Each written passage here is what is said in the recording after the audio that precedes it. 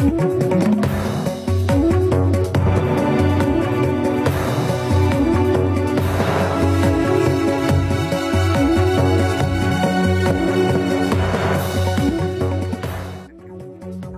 मैं रविश कुमार। टूजी घोटाले में किसी के खिलाफ कोई सबूत नहीं मिला। सीबीआई सात सालों सालों में किसी भी आरोपी के खिलाफ ऐसा सबूत पेश नहीं कर पाई, जिससे आरोप साबित हो सात साल तक चले इस मामले में ट्रायल कोर्ट में साढ़े तीन साल मोदी सरकार के भी हैं। सुप्रीम कोर्ट इस केस की निगरानी कर रहा था। इसके बाद भी 2G मामले में सीबीआई किसी के खिलाफ सबूत पेश नहीं कर पाई।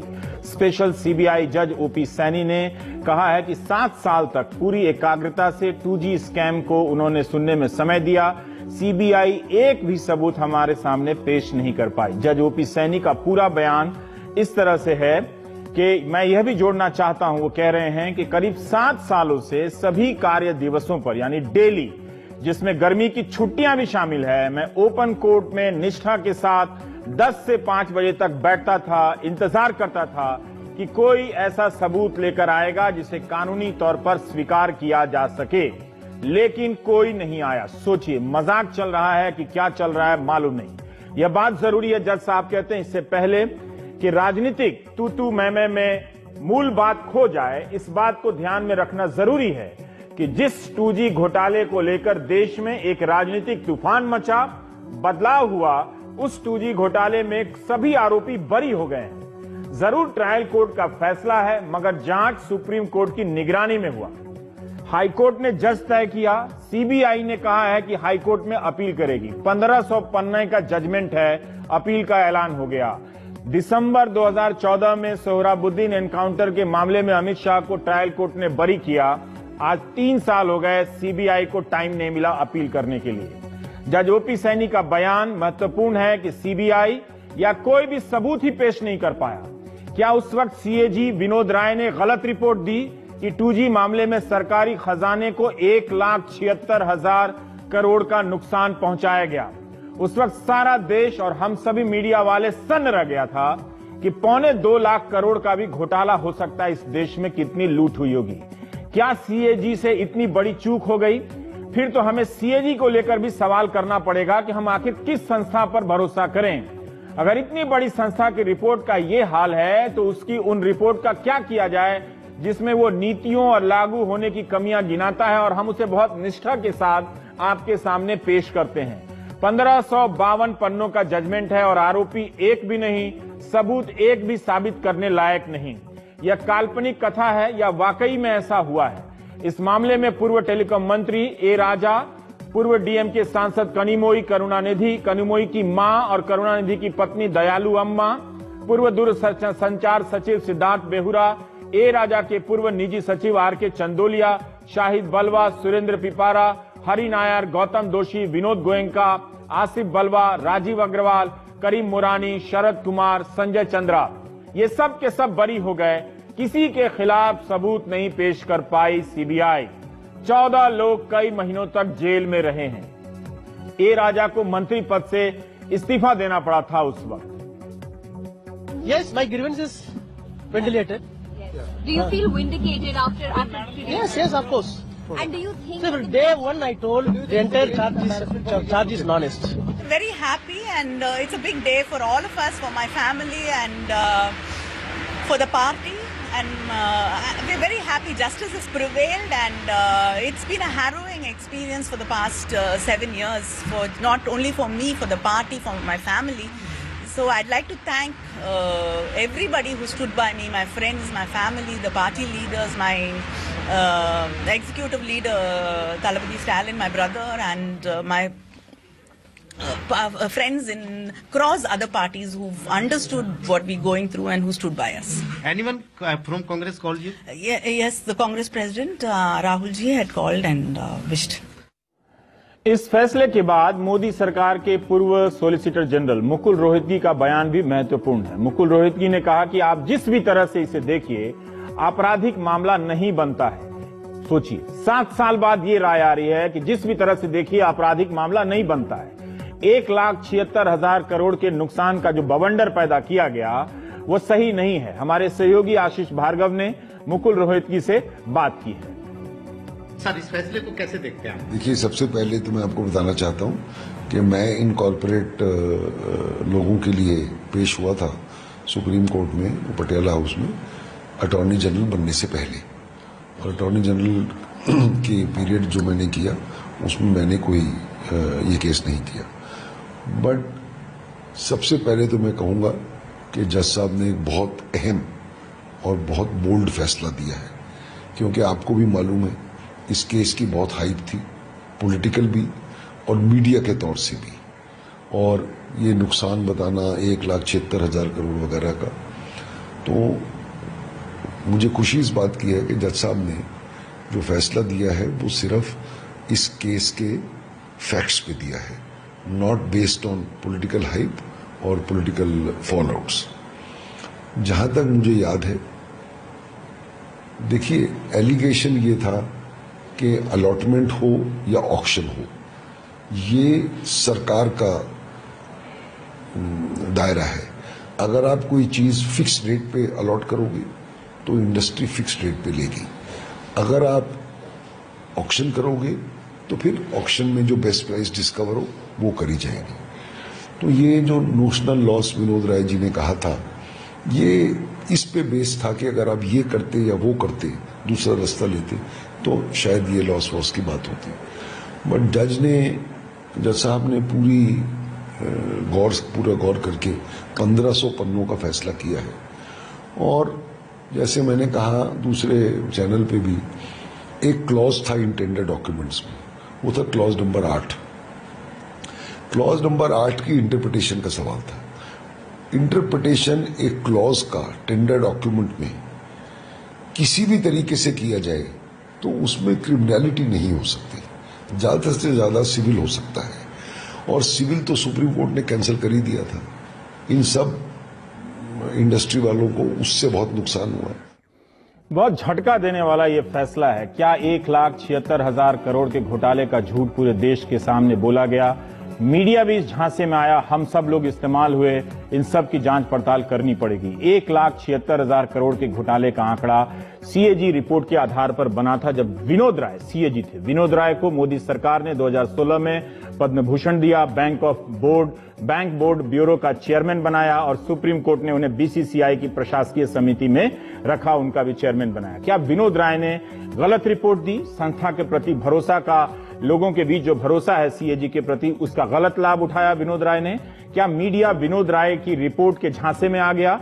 इस फैसले ने 2011 से 2014 के बीच के सारा राजनीतिक इतिहास झूठा साबित कर दिया है। सब के सब सवालों के कटघरे में हैं। यहाँ तक कि इस झूठ पर यकीन करने वाली जनता भी। विनोद राय ने सीएजी पद से रिटायर होने के बाद एक किताब लिखी, जिसका टाइटल है not just an accountant the diary of the nation conscience keeper 21 दिसंबर के फैसले के संदर्भ में किताब का टाइटल ही उल्टा पढ़ा जा रहा है।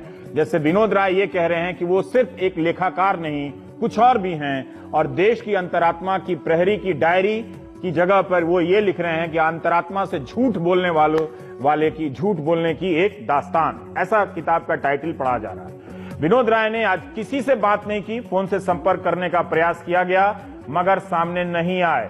उस वक्त जब एक लाख छिहत्तर हज़ार करोड़ के घोटाले की बात होती थी, तब वो हीरो की तरह तमाम चैनलों पर बाइट देते थे और उनका हीरो की तरह अभिनंदन होता था। तब कांग्रेस नेता और सीनियर वकील कपिल सिब्बल मंत्री थे, टेलीकॉम मंत्री नहीं थे। उन्होंने ज़ीरो लॉस की बात कही थी। ज़ीरो लॉस की बात पर कपिल सिब्बल का मज़ाक उड़ा, वो बदनाम हुए। आज तक उनकी हर बात का यही मज़ाक उड़ता है कि ये वही ज़ीरो लॉस वाले कपिल सिब्बल हैं।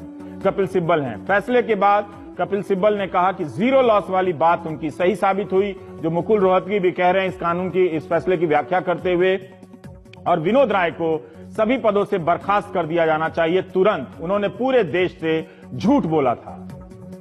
सुप्रीम कोर्ट ने तो सारे लाइसेंस कैंसिल किए थे, लेकिन सुप्रीम कोर्ट ने कोई इसमें ये ये तय नहीं किया था कि किसी, कोई नुकसान हुआ है, कोई पैसों का नुकसान हुआ है, या ट्रेजरी को नुकसान हुआ है। सुप्रीम कोर्ट ने यह भी नहीं तय किया था कि इससे पीछे कोई करप्ट मोटिव था।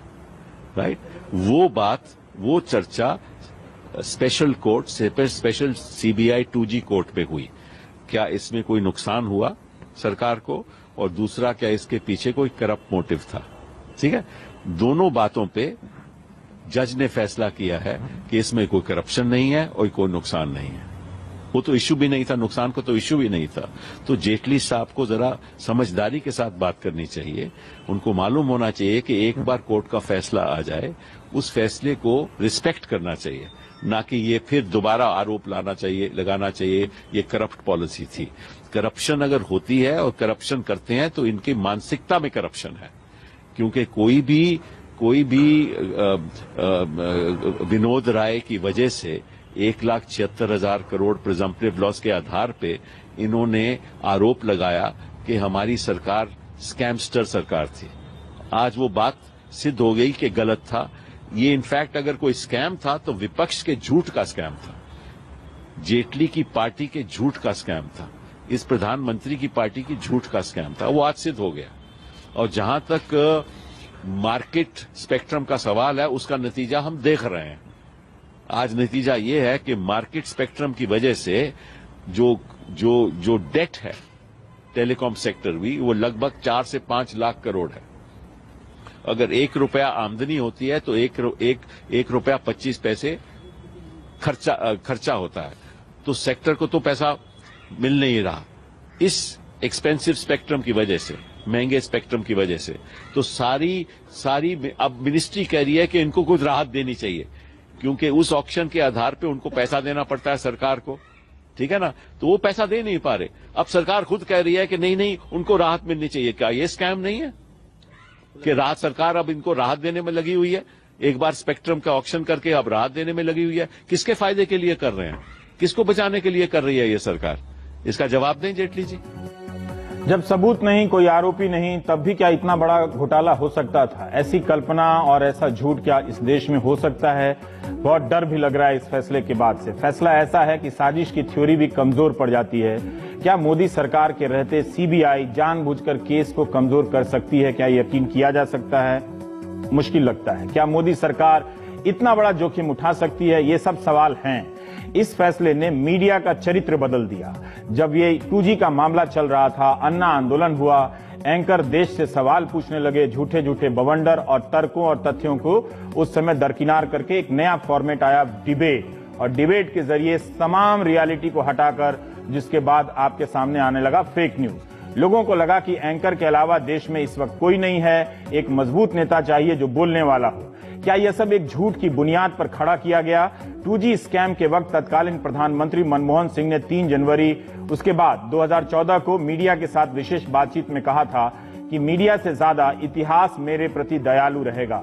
क्या मनमोहन सिंह की ये बात सही होती जा रही है? जिस मनमोहन सिंह की हर बात पर हँसी उड़ती थी, आज ऐसा क्या हो रहा है कि उनकी हर बात निशाने पर लगती नज़र आ रही है? I don't want to boast anything. I think the court's judgment has to be respected. And I'm glad that the court has pronounced unambiguously that all this massive propaganda which was being done against the UPA was without any foundation.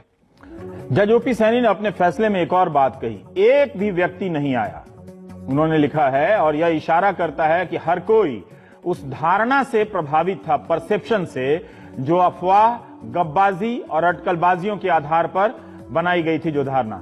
न्यायिक प्रक्रियाओं में अफवाहों की कोई जगह नहीं होती है। बीजेपी मानने को अब भी तैयार नहीं कि 2G स्पेक्ट्रम घोटाला नहीं हुआ था। पार्टी और सरकार की तरफ़ से यही बयान दिया जा रहा है कि नीतियों को भ्रष्ट तरीके से बनाया गया।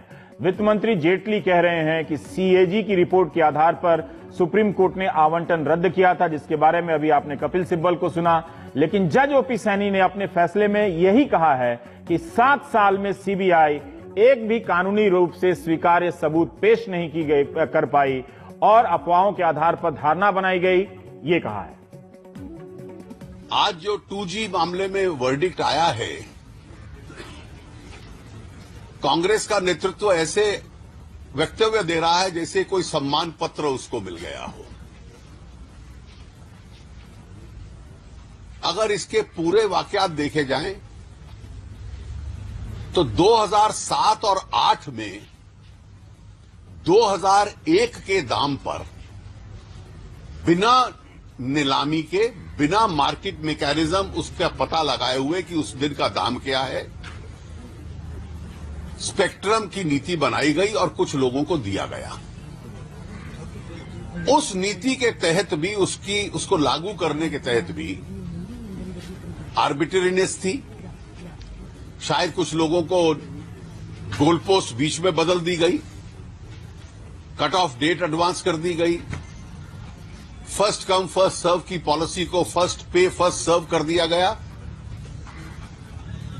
और उसके बाद जब यह विषय सामने आया सीएजी रिपोर्ट के बाद तो फरवरी 2012 में सुप्रीम कोर्ट ने इसको आर्बिटरी भ्रष्ट और देश का नुकसान करने वाली नीति, जो मनमानी से लागू की जा रही है, उस बुनियाद पे उसको रद्द कर दिया और कहा आगे से नीलामी करो।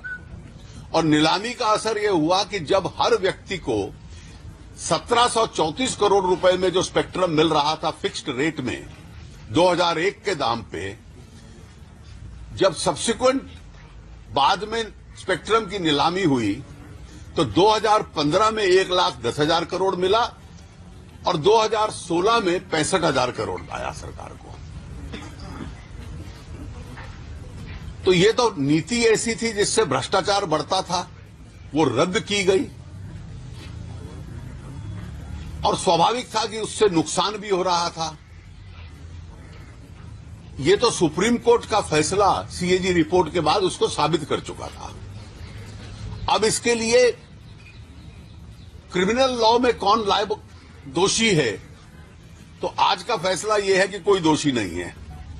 तो मुझे पूरा विश्वास है कि इसकी पूरी जो इतिहास है, उसको मद्देनजर रखते हुए और इन तथ्यों का अध्ययन करके जो भी इन्वेस्टिगेटिव एजेंसी है और प्रोसिक्यूटिंग एजेंसी है, और उसमें भी सुप्रीम कोर्ट का आदेश था कि इस पे क्रिमिनल केसेस लॉन्च कीजिए।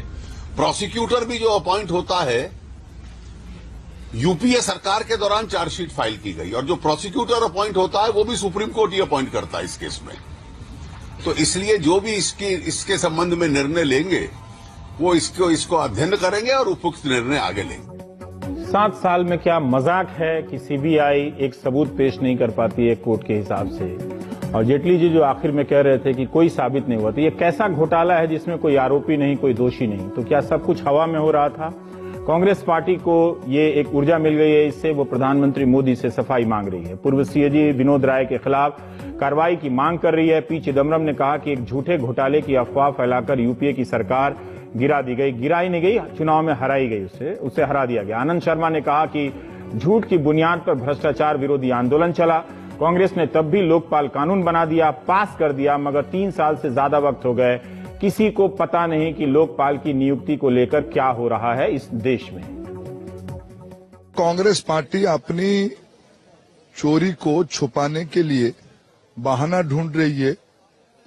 क्या टू की कोर्ट ने ये कहीं कहा है कि जो एक लाख छिहत्तर हज़ार करोड़ रुपया की भ्रष्टाचार हुई थी, जो बाद में सुप्रीम कोर्ट, जिसको रिकॉग्नाइज किया, सुप्रीम कोर्ट के निर्देश पे ही आगे कार्रवाई हुई है, और बाद में जो नीलामी हुई यूपीए के समय में, और एनडीए के समय में जो नीलामी हुई, ये लाखों करोड़ रुपया की नीलामी हुई, जिनको उन्होंने बिना मूल्य के फिक्स प्राइस से सत्रह सौ रुपया की, सत्रह सौ करोड़ रुपया की फिक्स प्राइस पे दिए थे। ये लाखों करोड़ रुपया की नीलामी में आई। इसके ऊपर कांग्रेस पार्टी का क्या कहना है? उस समय के माननीय प्रधानमंत्री मनमोहन सिंह जी ने जो कहा था, ये मेरा गठबंधन की मजबूरी है। उसके बारे में कांग्रेस पार्टी का क्या कहना है? कांग्रेस पार्टी राजनीतिक बयान अलग है। आप ये सोचिए कि कोर्ट ने कहा है कि कोई अपराध नहीं हुआ है, कोई अपराधी नहीं है। वहाँ तक बाद की नीतियों से कितना लाभ हुआ, एक अलग मसला है, लेकिन जिन नीतियों से घोटाले का आरोप लगा, उन नीतियों में कोई, उनकी वजह से उस मामले में कोई आरोपी साबित नहीं हुआ, सीबीआई आरोप साबित, सबूत नहीं पेश कर पाई। हम ब्रेक लेंगे, ब्रेक के बाद और दूसरा हिस्सा पढ़ेंगे इसमें।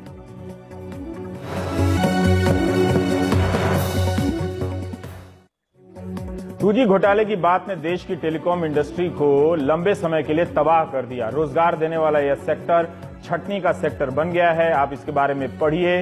इस सेक्टर से हज़ारों लोगों की नौकरियाँ चली गई हैं। इस वक्त क्या इसका संबंध तमिलनाडु की राजनीति से भी है? पिछले दिनों प्रधानमंत्री डीएमके प्रमुख करुणानिधि का हाल जानने उनके घर गए। क्या इस फैसले के बाद बीजेपी डीएमके को अपने पाले में ले लेगी? क्या एक गठबंधन के लिए इतना बड़ा सियासी दांव चला जा सकता है कि पूरा एक राजनीतिक इतिहास उसे झूठा साबित कर दिया जाए। तमिलनाडु तमिलनाडु में गठबंधन होगा तो देश में सवाल क्या नहीं उठेगा कि टू घोटाले के आरोपी कहाँ हैं? वो बीजेपी के साथ क्यों हैं? वो बरी क्यों हो गए? क्या झूठ के आधार पर एक किस्सा इतनी आसानी से गढ़ा जा सकता है? क्या सब कुछ इतना सरल होता है कि प्रधानमंत्री डीएमके से गठबंधन कर लें और इधर टू घोटाले में उसके नेताओं को छुड़वा दें? क्या प्रधानमंत्री भ्रष्टाचार विरोधी अपनी छवि दांव पर इतनी आसानी से लगा देंगे? आने वाले दिनों में देखिए कि डीएमके की राजनीति किस तरफ़ जाती है, उनकी तरफ़ कौन जाता है और इनकी तरफ़ कौन आता है। जज ओपी सैनी ने यह बात अपने जजमेंट में लिखा है। एक बात लिखी है कि सीबीआई का कहना है कि जो कमियाँ रह गई, हम उनका बचाव करेंगे। हमारी मुख्य दलील नहीं मानी गई, ये सीबीआई कर रही है। जज ओपी सैनी ने दलील की बात नहीं कही, कहा कि सीबीआई कोई सबूत ही पेश नहीं कर पाई। सीबीआई कहती है कि उनके लिखित सबूतों को नहीं माना गया। CBI will be taking necessary legal remedies in the matter. In due course, we will be filing an appeal.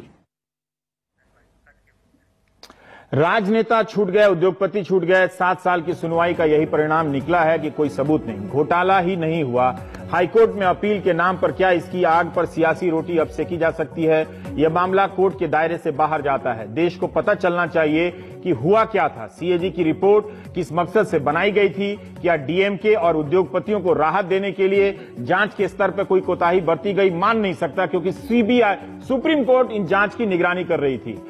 Congress के राज्यसभा सांसद विवेक तनखा ने सवाल किया है कि सीएजी की रिपोर्ट उस वक्त कैसे लीक हुई, किसी को पता नहीं, जिस रिपोर्ट को संसद में रखा जाना था, मगर इस रिपोर्ट के पहले ही ये सारी चीज़ें लीक की गई। That report should have actually come to the parliament it would gone to committee of the parliament that is PAC where it would have finalise and then a final report which has the approval and the imprimatur of the parliament is made public. This didn't happen. Much before that draft report is leaked, it's made the basis of a petition before the Supreme Court. The report is believed and investigation is ordered. People are arrested who've today been acquitted. And some of them have been in jail for year, months. जब सबूत नहीं है आरोपी छूट चुके हैं तब फिर किस घोटाले की बात हो रही है हाईकोर्ट में अपील की बात हो रही है 30 दिसंबर 2014 को सोहराबुद्दीन फेक एनकाउंटर मामले में Amit Shah special CBI court से बरी किए गए आज तीन साल हो गए आज तक अपील फ़ाइल नहीं हुई उसका कुछ पता नहीं अपील फ़ाइल होगी कि नहीं होगी लेकिन 1500 पन्ने के जजमेंट को बिना पढ़े सीबीआई कहती है कि हम अपील करेंगे, कहाँ अपील करेंगे, ये बयान आ जाता है। दिसंबर 2017 क्या सीबीआई किसी से पूछकर अपील का फैसला करती है? किस केस में करना है, किस केस में नहीं करना है? क्या यही पारदर्शी और निष्पक्ष सिस्टम है हमारे पास? हमारे सहयोगी आशीष भार्गव ने अपनी रिपोर्ट में फैसले के बारे में कुछ अन्य बातें भी लिखी हैं। जज ओपी सैनी ने कहा है कि टेलीकॉम महकमे की बात किसी ने नहीं सुनी। सभी ने मान लिया कि यह बड़ा घोटाला है, जबकि ऐसा घोटाला नहीं था। सीबीआई के बारे में कोर्ट की टिप्पणी दिलचस्प है। जज ओपी सैनी ने लिखा है कि सीबीआई ने इस केस की बड़ी अच्छी कोरियोग्राफी की है। यानी आप समझिए, हिंदी में नौटंकी गढ़ी है। ऐसा कोई सबूत, ऐसा कोई रिकॉर्ड नहीं है जिससे अपराध साबित होता हो। आरोप पत्र में आधिकारिक दस्तावेजों की गलत और संदर्भ से हटकर व्याख्या की गई है। गवाहों की मौखिक गवाही के आधार पर आरोप पत्र दायर कर दिए गए, जबकि कोर्ट में गवाहों ने यह सब कहा ही नहीं जो सीबीआई से कहा था। आरोप पत्र में कई तथ्य गलत हैं। अभियोजन पक्ष आरोप पत्र साबित करने में नाकाम रहा। जज ओपी सैनी की यह टिप्पणी, सबके लिए चिंता की बात होनी चाहिए। क्या इतना आसान है कि झूठा केस गढ़ दिया जाए, जबकि आसान है इस देश में? लाखों लोग इसका सामना कर रहे हैं। झूठे आरोप में किसी को जेल भेज देना और राष्ट्रीय आंदोलन खड़ा कर देना और किसी का चरित्र हरण हनन कर देना, ये सब बहुत आसान है। इसके शिकार बड़े नेता भी हैं और आम आदमी भी है। क्या सब कुछ झूठ साबित हो जाएगा? बहुत कुछ दांव पर है। इस वक्त यह सीबीआई ने तब के टेलीकॉम मंत्री ए राजा पर 200 करोड़ के घूस लेने का आरोप लगाया था, जो डीएम के सांसद कनिमोई के टीवी चैनल के ज़रिए दी गई। घंटों बहस होती थी, हम लोग सब करते थे। कई चैनलों ने तो इसके ज़रिए पूरे टीवी मीडियम को ही बर्बाद कर दिया। एक एंकर आया और जो घंटों एक ही इन बातों को लेकर बोलता रहता था। ए राजा और कनिमोई दोनों बरी हो गए हैं। हमारे सहयोगी सौरभ शुक्ला ने उस समय सीबीआई के प्रमुख से बात की। I am disappointed and I am surprise at the judgement अब ये तो जजमेंट को स्टडी करना पड़ेगा और जब सीबीआई करेगी जजमेंट को स्टडी और उसके बाद वो देखेगी कि कहाँ कहाँ कमियाँ आती हैं। देखिए, कोई कोई प्रेशर नहीं था। प्रेशर तो होता कि आप चार्जशीट नहीं करिए। यूपीए गवर्नमेंट के लोग थे तो प्रेशर तो वही होता ना। बट कोई प्रेशर ऐसा नहीं था। ये सुप्रीम कोर्ट बहुत क्लोजली मॉनिटर कर रही थी और इसको इसमें मीडिया भी थी, सुप्रीम कोर्ट भी था। तो इसलिए किसी किस्म का प्रेशर नहीं था। हमारी इन्वेस्टिगेशन प्योरली इंडिपेंडेंट थी। हाँ प्रेशर सुप्रीम कोर्ट का ज़रूर था कि आप इसको टाइमली इसको आप टाइमली मैनर में आप इन्वेस्टिगेट करिए और इसको कंप्लीट करिए। चार्जशीट का सवाल है तो मेरे को तो बड़ी स्ट्रांग चार्जशीट लग रही थी, इसमें कोई कमी नहीं है।